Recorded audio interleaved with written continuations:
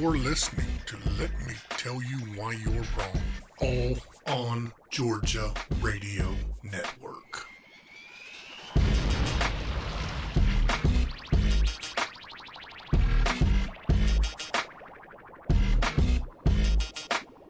From the All on Georgia Caribbean Command, just outside of Oranjestad, Aruba, this is the Let Me Tell You Why You're Wrong podcast. I'm Dave Roberts. From the Georgia Command Center, she is journalist, TV personality, and has a snazzy pink reflective vest, Jessica Szilagyi. Do you plan the introductions or do you wing it? I wing it for the most part. Lucky us. Should I plan?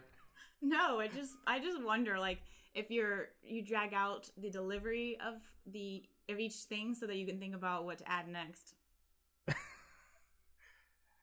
You know, I had enough people say, critiquing my delivery, and, and you to do it on air. You're welcome. no problem. Jessica, besides being ant food, how are you doing?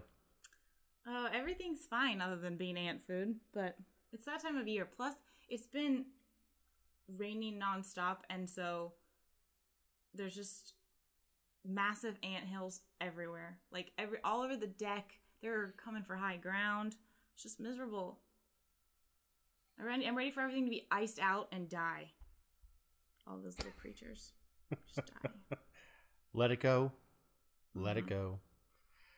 Let it. So, let it burn. so, as we record this, uh, we're in the middle of a monsoon. The lawn chemical company comes out, and I've got them on video today in rain. I don't know how many inches of rain we got today, and sprayed the lawn in a monsoon. And brought a soaking wet bill to, and hung it on the front door. Thanks. And, Is and then so they, they come at the same time? Like, do they come on the same date every month, or I don't know. I mean, they, they come monthly. I, I really don't pay attention to when they come, and the bill gets here, I pay it. But I'm like, really, man? Really? we literally have one more day of rain and then it's gonna stop? Look, it was raining so bad today. I saw nothing but nonstop wrecks. I mean, I had to get some stuff done because I, I am actually headed to Aruba uh, after we get done uh, uh, taping this episode. Uh, I saw one woman. Uh, this chick got sideways like four times, took out a, a, a, a fire hydrant, went into a ditch, out of the other side of the ditch, across a fence, busted her windshield, and, and of You- course I you stopped. it? I was I was driving behind her. I was she was going faster than I was, and uh, she goes fly and and you know of course I got off the phone with the person I was talking to, hands free. Uh, and I and I was actually talking to a mortician of all people. Like I said, I gotta get need. I'm going to check if you got a new customer. My gosh, that's terrible. So I go and she's already put it back in drive, trying to get out of the ditch. And I'm like, "Are you okay?" She's like, "Yeah, but I, you know." She keeps trying to hit the gas, and like, "Sweetie, you're in a ditch." I said, "Are you medically okay?" She goes, "Yeah, I think I'm fine." I said, "You're gonna need a wrecker." I said, "You can't take a car out of a four foot ditch just by hitting the gas."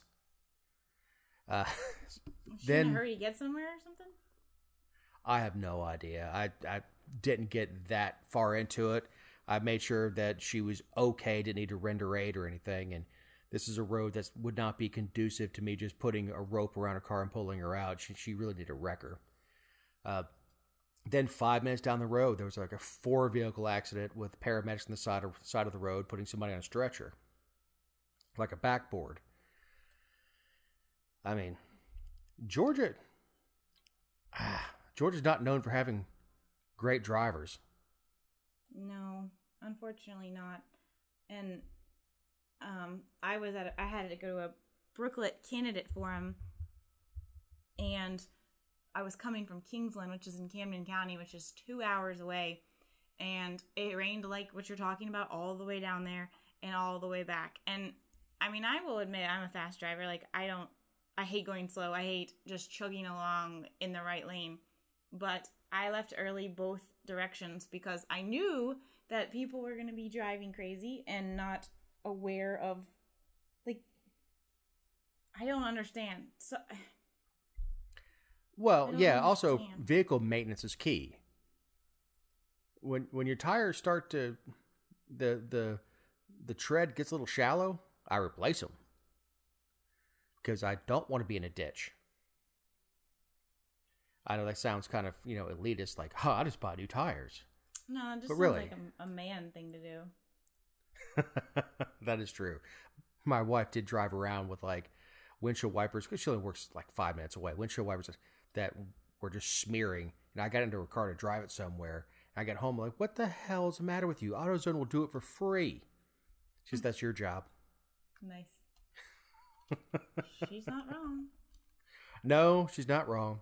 Uh, as this episode drops, and we're recording early, so anything that you hear that doesn't sound topical, uh, we're, dro- we're we're cutting it early so that I can go on vacation because I've been told I'm not allowed to record on vacation.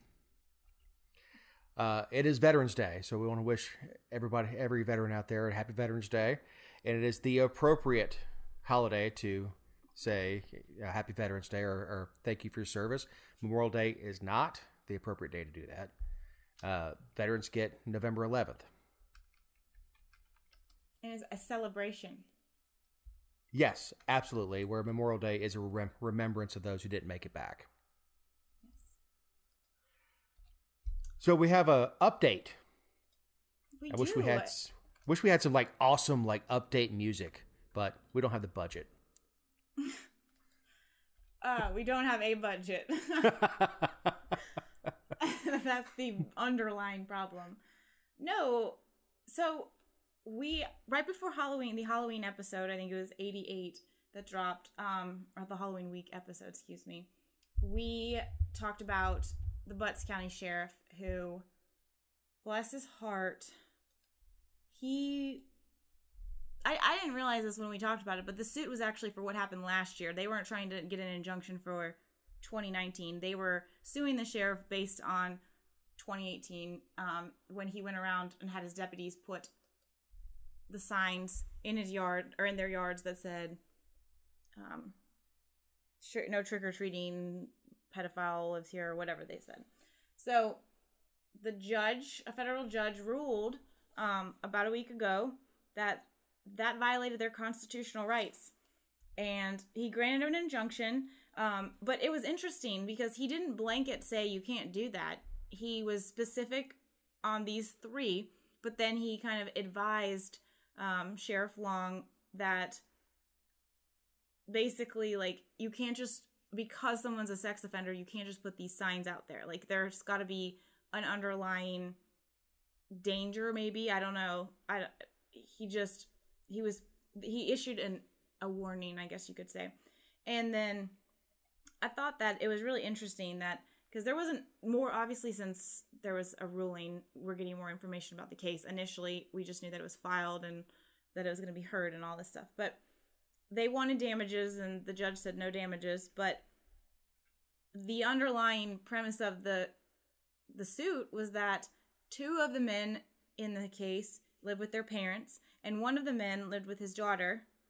And their argument was you know you're not just punishing me you're punishing and humiliating and causing harassment for the people that i live with or that live with me. And um, the judge actually it was judge Marc Treadwell he actually said that it ran afoul of the first amendment. Well, and the, all the things that we covered before, which was if this was part of the original sentence, that's one thing. But that's they've done their time.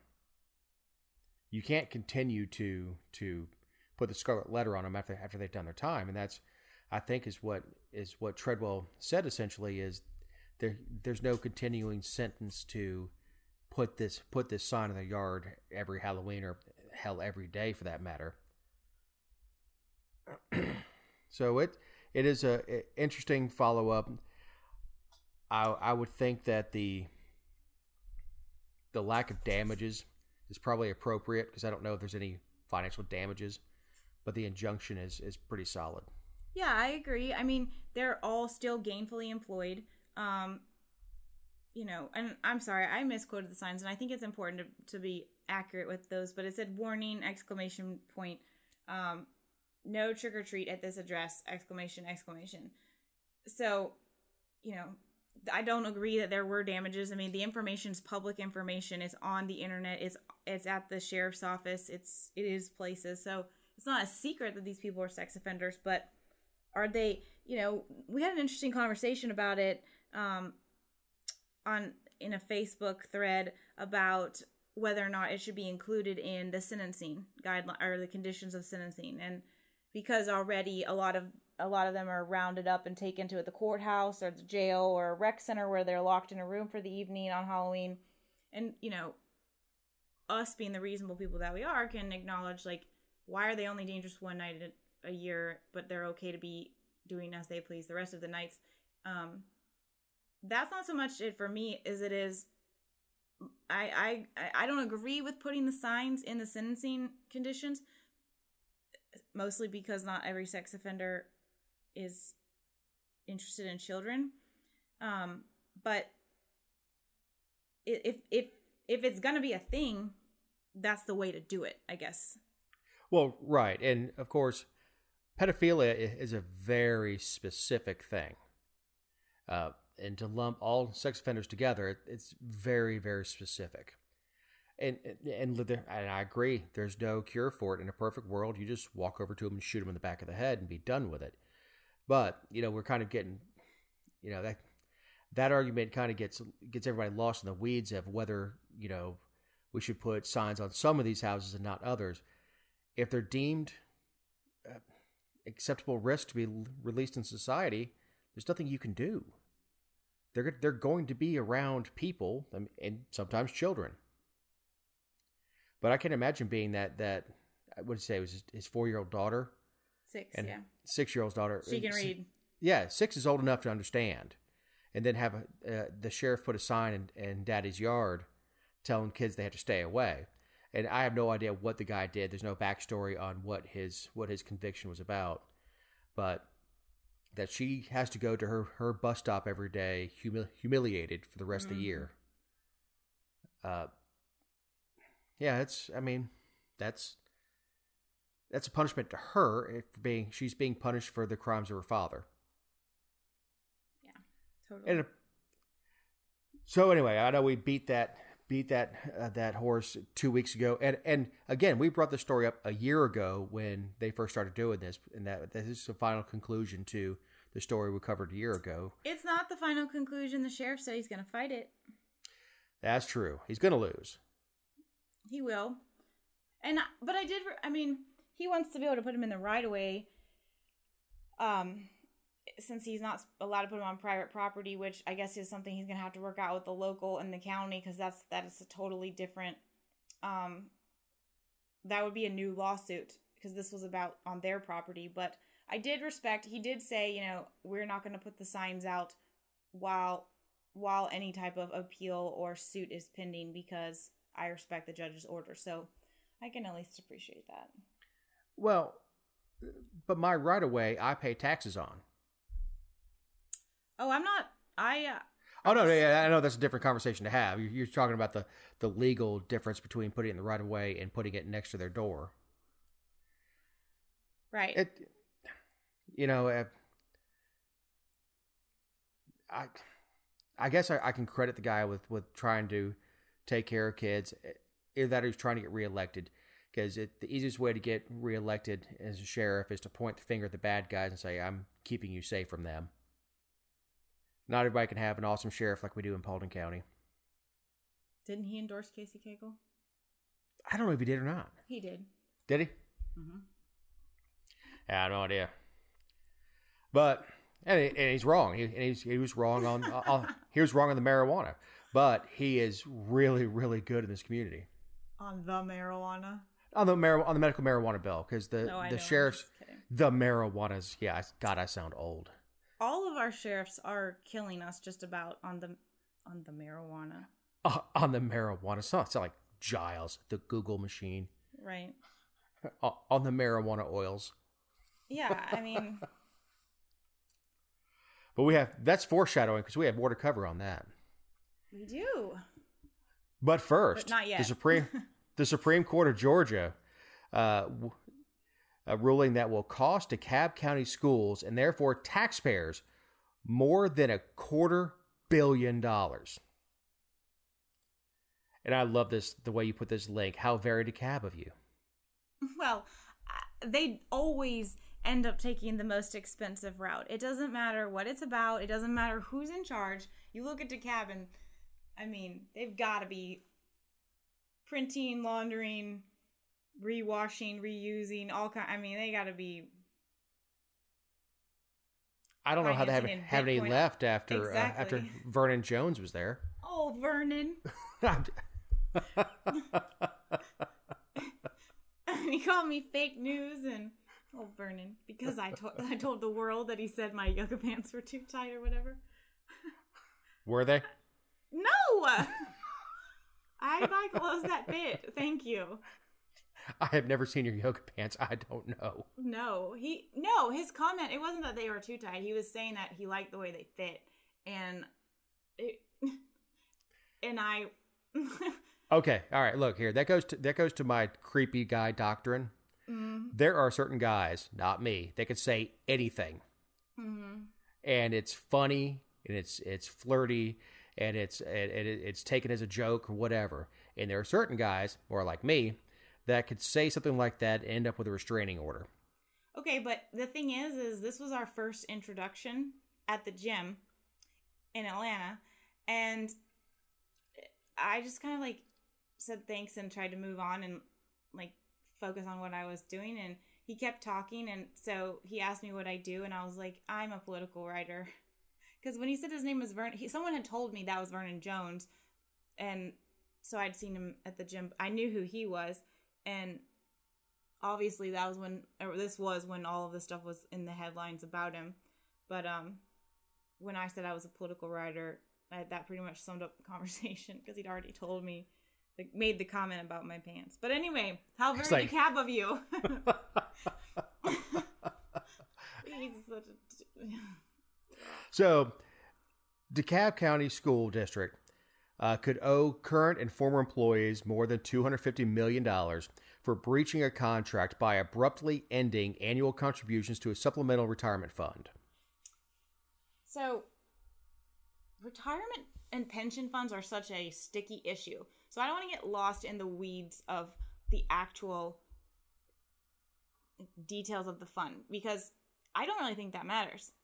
My big when when when you read that because that's like the first sentence and the it's in the description of the summary for the um Supreme Court or the and the appellee all of that it's all that's what's lead, leading into it.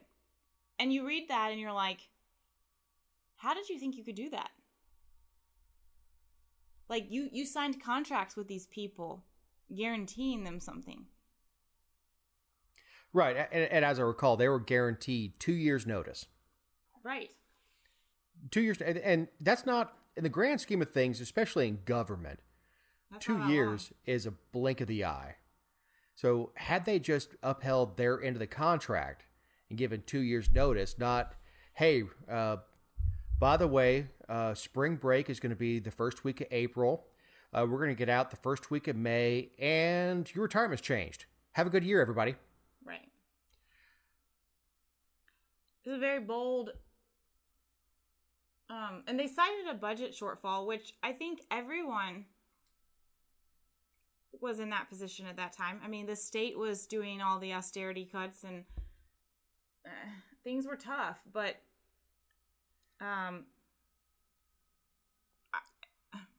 Isn't DeKalb the one that had the the young lady assaulted in the bathroom by a transgender well, little boy in the bathroom that we covered when we had uh, Allison Feliciano on the show?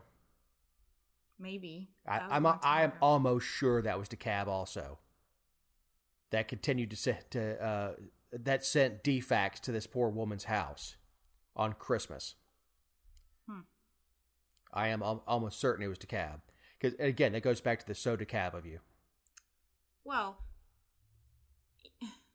and it what's what is co- so crazy about this is um pensions and retirement plans get such a bad rap for being unsustainable and um just nobody likes them. Yet it's something that they try to save everywhere. Look at the state with the teachers retirement system and look at the um i mean there's counties down here where i live where they had pension plans from a long time ago that the new employees have a different benefits plan but the old ones are still getting that benefit and still having that fed by the county because it was so important and they they're upholding their end of the deal but i mean it's like one of the things that it's like a that would be the last thing they would cut Well, here's the deal: is I say here's the deal. You made a bargain, and you said we're going to ask you to go to college, and we're going to ask you to take pay that's beneath what other, often, uh, college gra- uh, uh, graduate school grads make. But on the other end, we're gonna, you know, this is going to be your deal. Even if you work for a Fortune 500 company, there's a there is a, a a break and say, look, you know, if you're hired after this date, there's no pension. But the people that we've made guarantees to, we have to be good to our word. And apparently, DeKalb County doesn't think that's that's the case. Well, and also, I mean, I don't mean this the way that it's going to come out, but what's the big deal? It's government. It's too big to fail. They could get more money from a million different places. Like, have you ever seen a, a, a government actually not have the money it needs to do something? Actually, yeah, I was in the uh, in banking when Lumpkin County uh, had their executive run off out of the country, and we had to go and bail them out. All the banks had to get together and bail them out. You're killing my vibe right now. and that was no. that is like a totally different situation than what I'm talking about. Two year was two thousand, I think, and I was the I was the market banker in Lumpkin County. Yeah, well, I was 12, so. Dave's old. He I'm sucks. talking about yeah, I'm talking about in 2008, 2009, 2010 when things were tough. Like you didn't actually see like people kept moving. Things kept rolling and they probably robbed Peter to pay Paul and I don't support that, but I'm just saying like what was really at risk by doing what they've done. Now now and that's what's so obnoxious about all of this. They're like, "Oh, DeKalb County owes 250 million dollars." No, it doesn't. the taxpayers do. Yeah, unless all of that is covered by insurance, and I guarantee you that it was not. Well, and, and to your point is during the the tough times during the Great Recession, uh, pay raises were frozen. A lot of things happened within government in order to make ends meet, but they continued to keep up their obligations. And the and again, if you want to change teacher retirement going forward, that's that's your prerogative going forward. But you have to be an organization of your word. If you said this is what we're going to do, and we're going to give you two years' notice, and it, I and I guarantee you, their fear was if we give you two years' notice, they're going to have two years to apply to other school districts to leave DeKalb. Because why the hell would you stay? Sure. I mean, that's like I said, that's the primary reason. I say primary reason to be a teacher. That's that's not true. Most teachers I know really do care about the kids, but that's why you spend Yeah. A It's hundred huge grand. benefit. Yeah, hundred grand getting an education to make to to not make a huge living is is the benefits. One more reason for having private schools is schools could recruit the best teachers by offering the best competitive compensation and retirement plans. Totally different subject. But you know, if you're in DeKalb County and you start seeing your uh, your tax your property taxes go up, guess why? A quarter billion isn't that easy to absorb. Ugh. Ugh. It, it's just, I mean, this is, there's nothing else you can say. It was a stupid decision.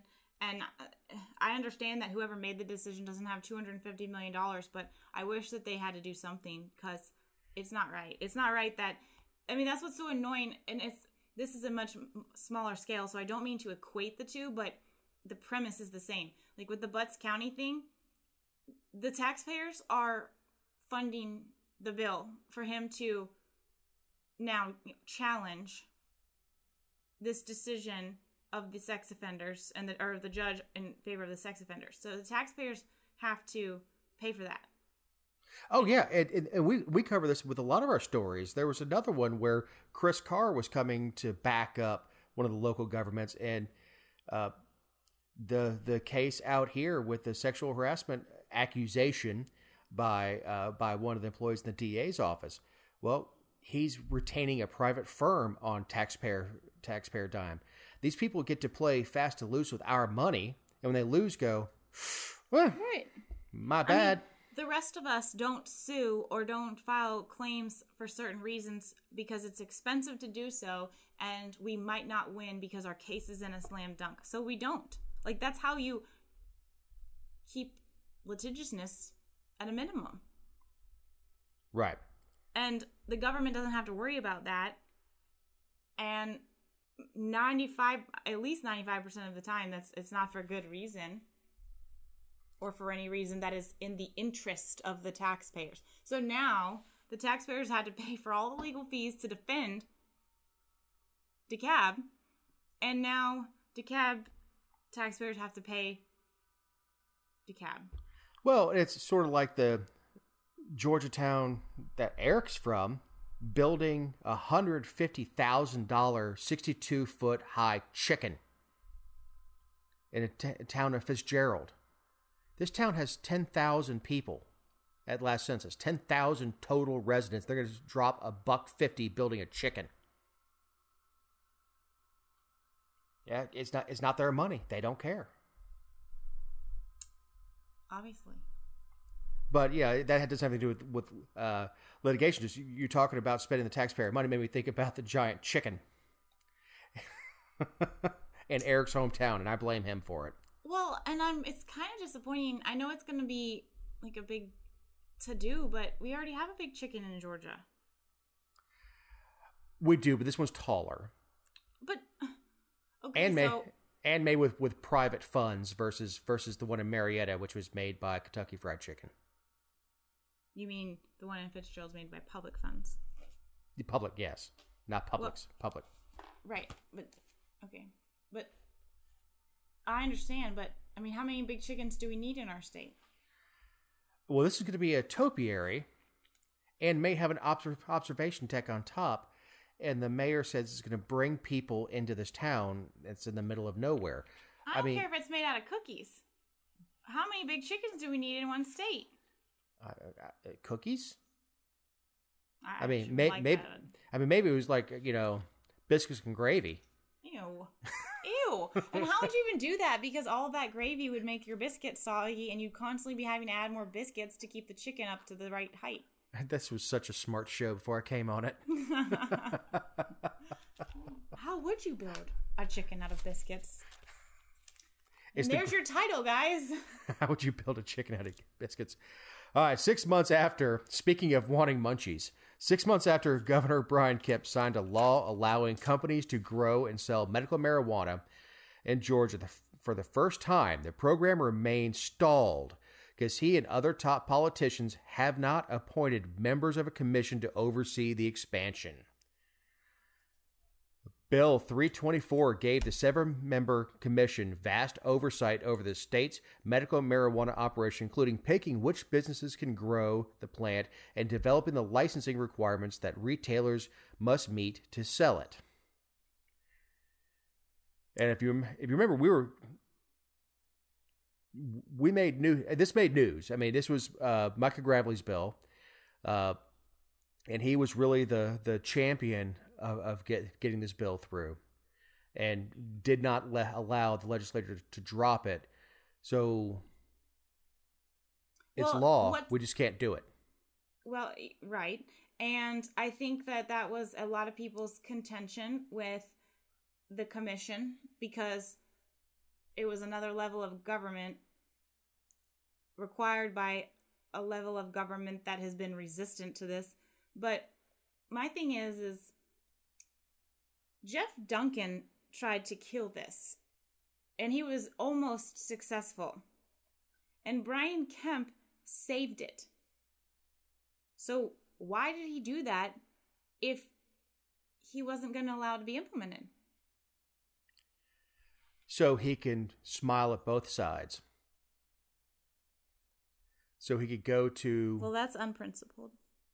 Yes, we can go to Jabo Wages, who was a champion of this bill, who has a uh, severely disabled daughter, who uh, Sydney, who was pictured with with the governor, and this medication has absolutely saved her life. Uh, went from from almost an, a life that's just just incompatible with moving around at all, with constant seizures, to having a life and it and he put her out front and he was and he opened up his family to to the, to Georgia and the world. Uh, he was the inspiration behind it. When a lot of these politicians were no, no, no, pot's bad, and he's like, come to my house and come talk to me, come, come and be around Sydney and see the difference. And Governor Kemp had the Wages family around him He had Micah standing behind him, and he signed this into bill and has uh, and this bill into law. It has done nothing to enact it. So he can go smile at both sides of his face, go to faith and freedom, and go, yeah, it's law, but I but you know they can't do anything about it, and turn around to these families and go, I did the best I could. I, I signed the legislation when they gave it to me. I said that's exactly what I said I was doing the campaign trail, and then smile at both of them. Meanwhile, these families that, that have children who are suffering still have no legal means of getting the medication and they have to turn themselves into drug traffickers and bring medication into the, across state lines making themselves federal criminals in order to do something in order to give life preserving medication to their children um yes and Kemp I mean, Kemp made it a thing on the campaign trail ahead of his little face off with Casey Cagle in the in the runoff, and I just um the only the only logical reason would in my opinion and it doesn't make it right it's just the only one that actually makes sense. Like i hear what you're saying and i understand that he can supposedly appeal to both sides but he's he he did it, but nothing. He didn't gain anything from the cannabis community because they now they no longer have what they need. The only thing I can think is that he wanted to buy some people some more time who weren't ready to do this. You know what? Here's the thing: the cannabis community is such a small vote. The true people who need it. So it was the I rest disagree. of us that it was the rest of us that were rallying around them. It's And only a small community because the state made it a small community. right, well, I'm saying what I'm saying is the the the folks that actually need it are relatively small, and as long as the rest of us think that's what's that's what's happening. What, but what's happening is Jabo, Jimmy Wages, he's known locally here as Jabo, uh, is not going to let it lie. And he's making sure that Sydney's Warriors and people know that, that and that's wh- where I got this story originally was him releasing the information that nothing has been done. Not a single member of the commission has been named. It's not just him. It's him. Uh, who else is in charge? Geoff Duncan, Speaker of the House, Ralston.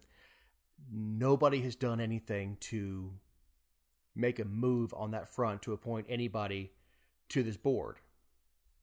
Hell, I'll serve. I have no desire to own a marijuana company. You know, I've got like three hours a month I can give them. Right. So you can't say that you don't know anybody that that's qualified. It's not it's not that difficult. Oh The- no, no. But I'm not saying what you're saying. That's not. I'm not saying that what you're saying, but they can't come back to us and say, "Well, we've just been doing an, ex- an exhaustive search." We, whew. and then Johnny Isakson stepped down. Oh, my HR department's been just swamped. right. I don't know. I, I and and maybe that's just me being impatient. I understand it just became law in July, but I would have thought by now would you know with Ralston saying he has so much state business he can't go to court.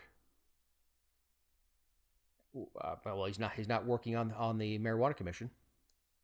No, and yes, it didn't take law or take effect until actually I I think it went into effect earlier than that. I think it was one of the ones that was signed earlier. But regardless, the whole point was that we're going to get it done this year and it's going to have some procedural time and then of course growing time and January 2021 there's going to be weed in Georgia for these people to buy for their oil. And that's it, every month that that go every week that that's pushed back. It doesn't it's further away from reality for those people. Yeah, I believe it's 6 months from the time that you you commence operation till till you start harvesting. If I recall what what they're expecting. And none of it's being grown indoors. So without the license, you cannot even acquire the the real estate necessary to pop up a building to to build a grow house. And, and I assure you, we we have people right now, and, and I know a couple of them that are raring to go, that have experience in, in the area. And I'm not ta- I'm not talking about illegal grow operations, but people who who have worked in Colorado and California who are were heavily invested out there who are ready to make it happen here. They have people ready to put on staff to bring here and make that happen. And nothing, I, I, I, and I don't know if they're waiting up, just waiting in line to see who's going to make the biggest donations to the 2020 campaign. I have no idea. As a reminder, these are our opinions and not necessarily those of AllOnGeorgia. That is true. so, as I call the politicians dirty, that's me, Dave not Roberts. Jessica. Yeah, it's Dave Roberts, not Jessica, not Shady. Definitely not Stella. Yeah, yeah, yeah, definitely not Stella. So, Georgia has toothless ethics laws. The Coalition for Integrity recently released a report on enforcement of ethics rules by state agencies. The report analyzes how state ethics agencies exercise their enforcement and sanctioning powers and how transparent that implementation is. The report demonstrates the significant differences between in excuse me in state agency ethics enforcements and lack of transparency in actions taken by those agencies. Georgia's ethics agencies scored poorly in enforcement efforts and transparency. So, I first of all realize that I start every conversation with so. If you listen to any of these episodes in in order, like every single one. Dave lines it up, and I'm like, so. So you take a shot every time you hear so. That's right. You'll be drunk by the time we say, as a reminder, these are our opinions and not those of AllOnGeorgia. But for to get on my soapbox before we really dive into this, this is there. There are two parts of government where other levels of government can hold government accountable, and that is transparency, and ethics. And I will concede all day long and twice on Sunday that it is impossible to fully legislate ethics. Like you will always have loopholes, you will always have creative people who can find their way around it, you will always have deceptive people. I mean, it's just a reality. It's a reality of government. Government is unethical. But we've talked at length about how the Attorney General's office is basically worthless when it comes to true enforcement of our state's um, Open Records and Open Meetings Act and everything. This is the this is the other side of that. This is the other side of the the coin. They both are terrible. I think this is worse, honestly, um, because it's much more clear. But I'll. I, do you want to go over the report, or do you want me to go over the report? Go ahead. I, I'll go over the report. Um, I mean, I don't, so, I don't trust the author on the on the on the article. Mm-hmm. I wrote the article. I feel like that's happened here on the show before. it's like deja vu all over again. Right. Oh, excuse me. I'm the one that wrote that. No. So the Coalition for Integrity, uh, they released this report and they said that, you know, they the, the biggest problem I will say with the, the study is that our laws aren't the same in every every state with regard to ethics. So it's not like you're comparing apples to apples. But that's not what they were really going after. That was the first dig people made at the study, but what they were looking at was you know, how are you enforcing your state what kind of transparency and ethics laws do you have? Are you enforcing them? Are they enforceable?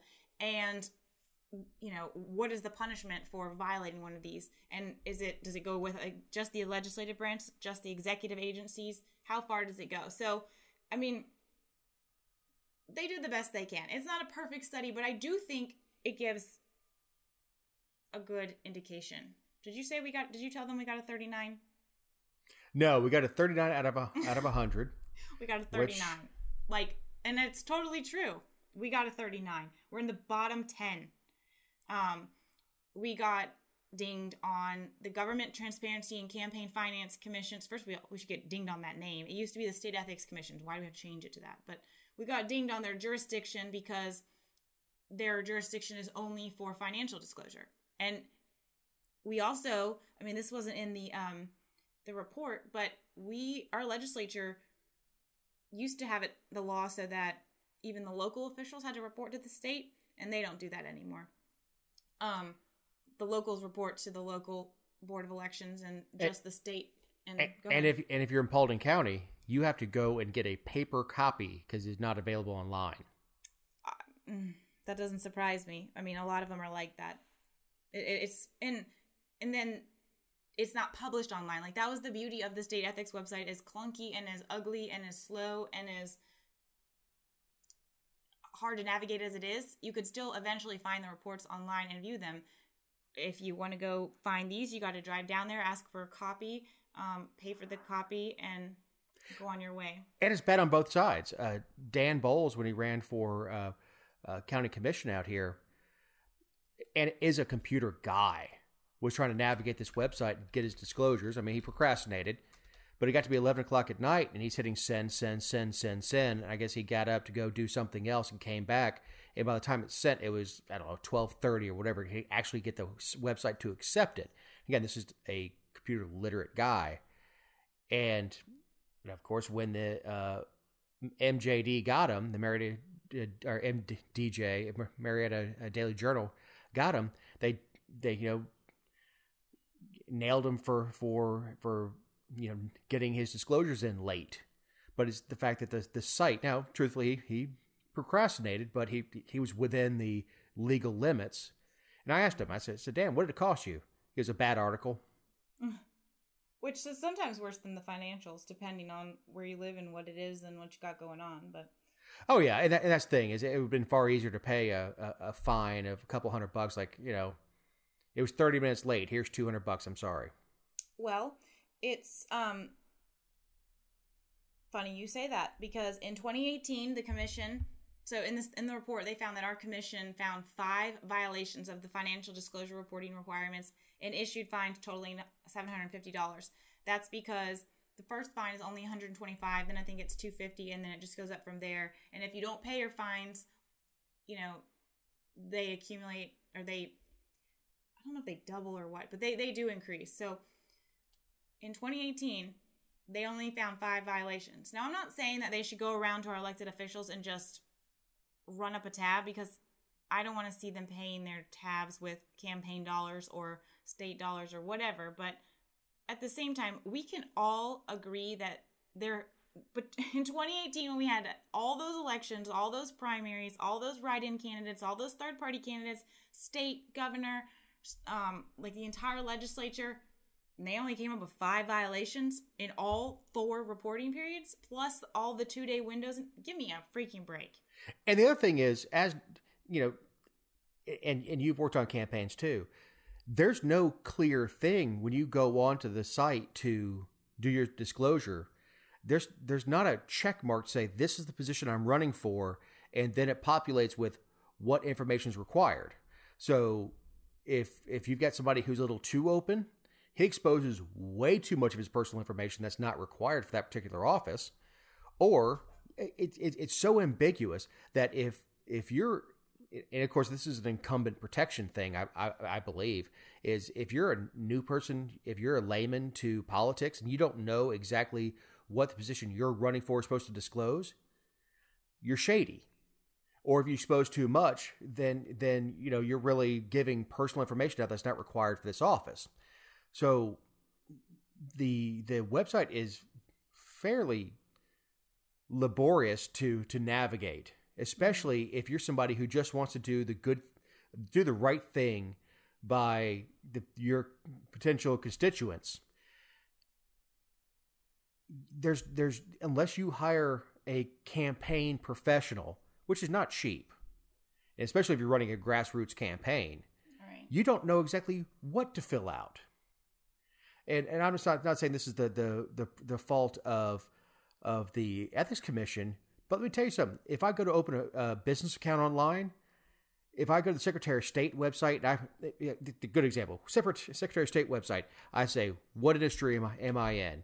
Construction, drop down, trade, drop down, HVAC, drop down, commercial, and and I can populate all those those fields, and it comes up with exactly how much I'm supposed to pay to maintain my license, exactly what the education requirements are as you as you populate those fields.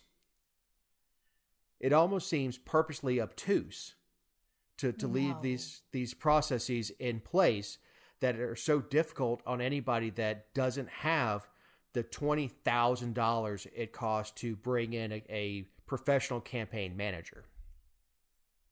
Well, and the other com- this other side of that is that, you know, the ones that are fined, whether it's on purpose or like it was a deliberate thing, or um, it was an accident, and I have been the cause of an accident on one, and it wasn't. I mean, it was after. Ironically, it was only a couple years ago. Like it's after I'd done it several times, and then I still made a mistake, and I had to. I I took the blame publicly and in the newspaper and everything. Like I was willing because I did it. I messed up. I didn't understand, but um, the the there's no. So the person that I worked for was honest, and they just paid the hundred and twenty five dollar fine. There are legislators who have retired or died and still haven't paid their dang fines, and there's nobody doing anything about it. So why even bother?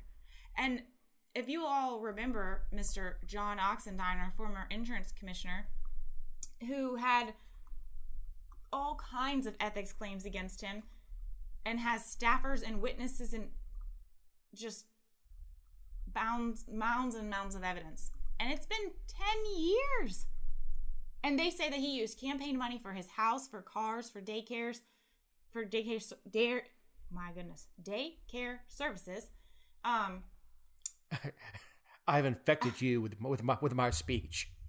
yeah, I can't speak, but I mean, athletic club memberships. He lives in a nine hundred sixty-five thousand dollar house. Supposedly, the down payment was used for that campaign funds, all of it, and he did under the guise of a loan. Now, I'm not going to get into like whether or not what he did was right, but the fact is, is he's been under investigation for ten years. What's the point? He Is there something about that job?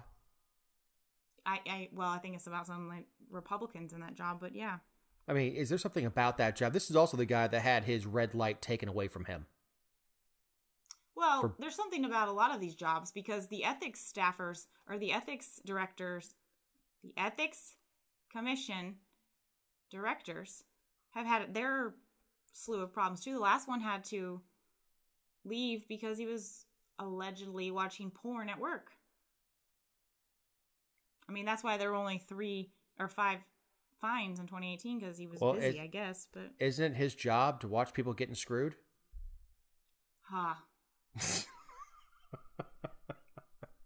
I mean, if I didn't see that one coming down the pipeline, I don't know what I wouldn't see, but th- I, that was predictable, Dave. You're Yeah. better than that. I'm not. I'm really not. Uh, but you know, we got Oxendine, who's been under under investigation for a decade. We've got our suspended current uh, insurance commissioner under investigation by the feds. You have Ralph Hudgens, who endorsed Jim Beck, who is our, I guess, immediate past insurance commissioner, who ran the office into the ground and had to have Governor Deal bail out his office because he didn't have any money, which goes back to the previous discussion about how when you don't have any money, like money just appears and everything works out because you're government. But the rest of us are like, um, please may I have another little package of ramen?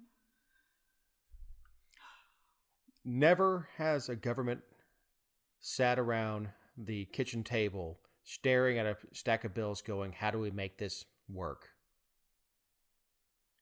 No, no one is sitting at City Hall going, If we don't make this payment, we're going to lose City Hall. Uh, my mailman actually made an op- observation. I was talking to him the other day.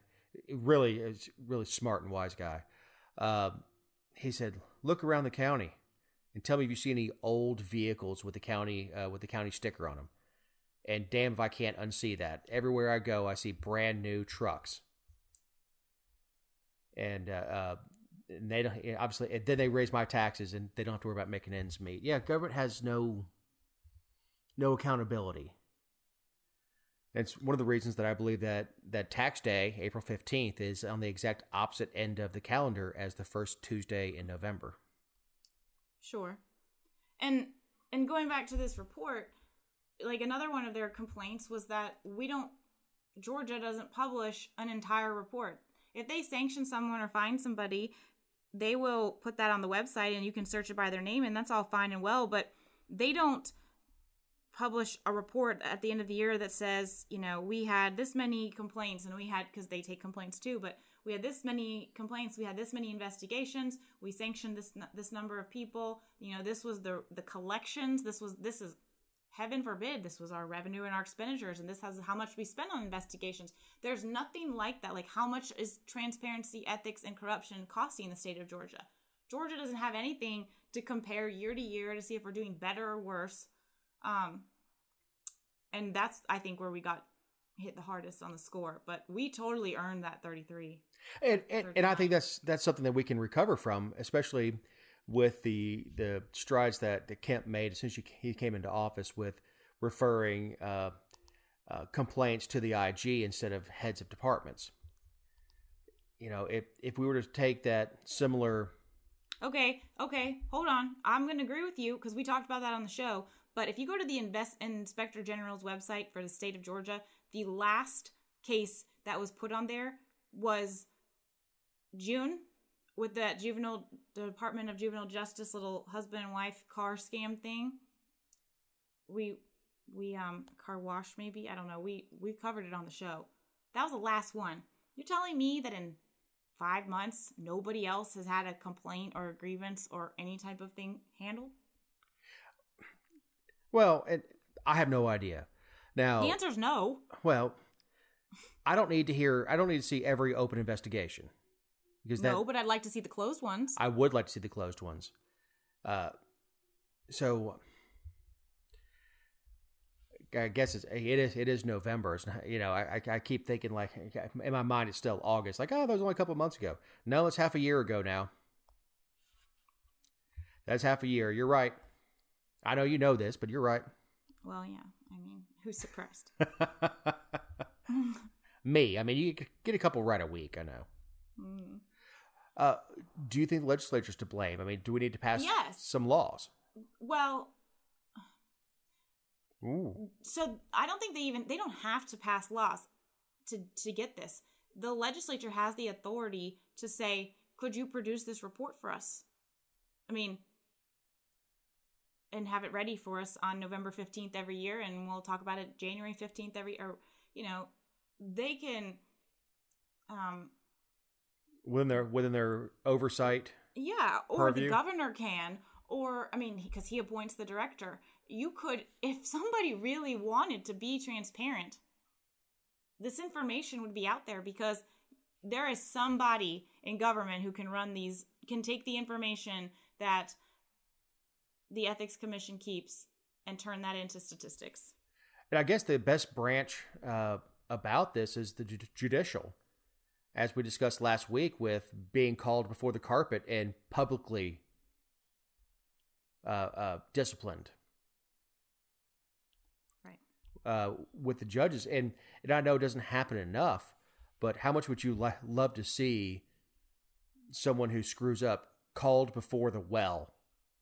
or called called before a committee and be read for filth and and, and put the, put that out. I mean, that's I I, I guess I, I guess as a gawker, I think that would be uh, that would be fun. But what really needs to happen is there needs to be some some fines with some sting to them.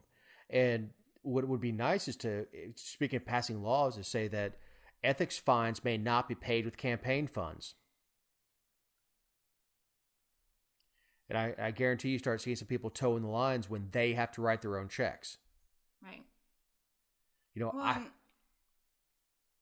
it's just send someone in to to do something like don't allow them to collect any more donations until they pay their fine. well, it we're expecting government to police government, and that's the problem. Right. It's by design. All right, so I've got my Alex Jones tinfoil hat on. Jessica, do you have any closing thoughts? I'm worried that if I channel my closing thoughts, it might interfere with your tinfoil hat. Are you stealing I'll my let thoughts? You have it. I'll let you. Yeah, I'll let you have it. I, I just saw a, a trailer for, and it's rare that I, that I see a movie. I'm like, that's that's probably pretty good.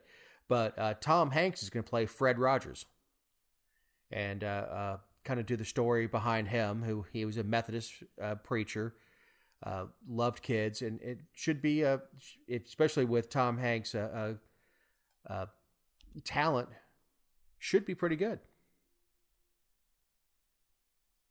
Fred Rogers is also Mr. Rogers.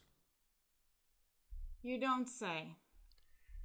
And no, he was not a Green Beret. No, he was not awarded uh, a bunch of medals for killing people. He was just a nice guy who was a Methodist preacher. And who I grew up on. Mm-hmm. Along with Howdy Doody and who whoever else, because I'm old. Tough time. All right. Did you watch Howdy Doody? no. Hmm. Good God, Jessica. Well, I mean, you made a point to bring It's it the up. oldest thing I could think of. Hmm. I'm 10 years older than you are. I think you're more than that, aren't you? Uh, maybe 11. How old are you? 42. Damn it. I got you by a decade. Well, if you guys enjoyed the podcast, or if you didn't, rate us five stars or four if that's the maximum. Uh, shares and like us on social media. Uh, interact with us. Send uh, send commentary to us. We, we really we certainly appreciate the constructive criticism and and anything that you like. We'll try to do again. Except when you say Dave, be funny because that happens once every ten episodes. So, for Jessica Szilagyi, I'm Dave Roberts. Have a great week.